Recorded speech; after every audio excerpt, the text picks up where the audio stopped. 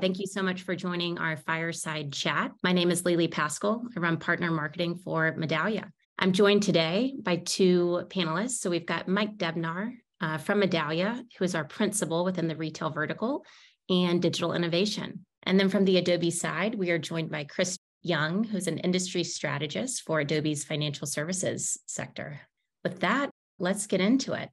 So Chris, you know, took this directly from a conversation with you. You said moving from next best offer to next best experience. Can you elaborate on this? Yeah, I think the, the state of the union in personalization and financial services today is currently around this concept of next best offer. And that's geared towards acquisition and product sales. And, and that's kind of the mindset of the marketer. Um, and with that in mind, you know, you're working in really portions of the journey where the marketer has jurisdiction. You know, typically the public-facing website, uh, maybe email, maybe paid media. But this shift is going to next best experience, which is geared towards value to the customer, not necessarily purely value to the bank.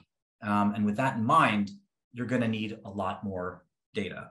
You're going to have to connect to a lot more channels, like financial services being omni-channel, so branches and call centers.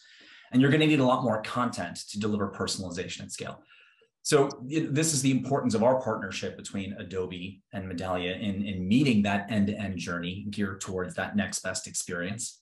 Um, but I also want to add that it's going to require a mindset change as well. Marketers have to go beyond thinking how well do we sell what we make to how well do we know and serve the customer. And I think the, com- the combination of our applications to build that intelligence about the consumer is, is extremely important. Yeah, and and from the retail um, perspective, you know, you think about how customers have changed their behavior and, and just the you know the advent of digital and you know in retail tier one tier two retailers have invested in digital. Um, those digital assets are out there. There's high adoption.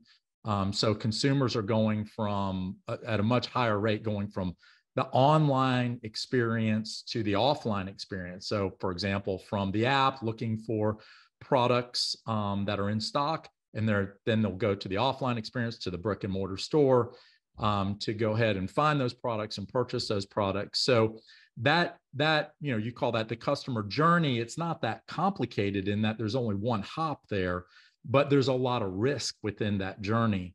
And so understanding as best we can that the customer's intent being online versus their actual feet on the ground experience in the store is really where there's an opportunity um, within retail. And that takes data. And sometimes it's a little bit different data, right? Because a lot of that data um, historically has just not been um, known. Like when I walk into a store, you know how how do you know that i'm even there um, unless i identify and purchase something so there's new technologies that are really helping with that um, to identify customers in store for example um, a lot of our clients are using in-store mode when they're app so the app turns into like a super app when you're in the store it provides navigation and you can check out with your phone and save time and energy and so that type of data much to Chris's um, example, that we'll need more data. That's becoming available. And to the extent we can use that to create what I'll call as close as possible to the perfect experience for that customer.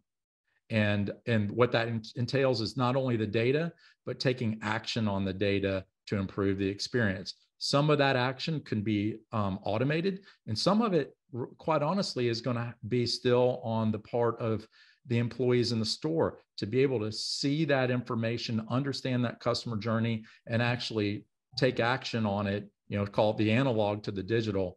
And I think when we're we're getting closer to getting there, and I think that's really where we're going to see um, brands differentiate themselves. The ones that are going to be the early adopters to that, um, to you know that, that next best experience, are going to see a um, you know um, a, an additional share of market and share of wallet.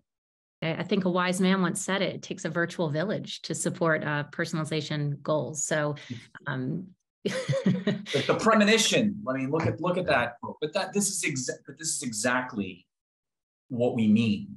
You know, this this village. I, I don't think that anybody listening to this um, today can completely just reimagine the organization overnight.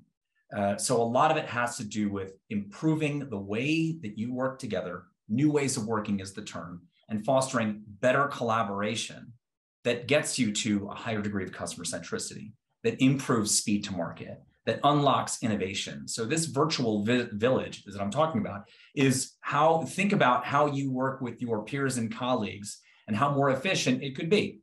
The one thing I want to point out is this concept of one and done. And I know, Mike, and you'll agree with this, but it is an ongoing, iterative uh, process. Um, and it's just, you know, the c- consumer change. Look how much the consumer has changed even over the last two years.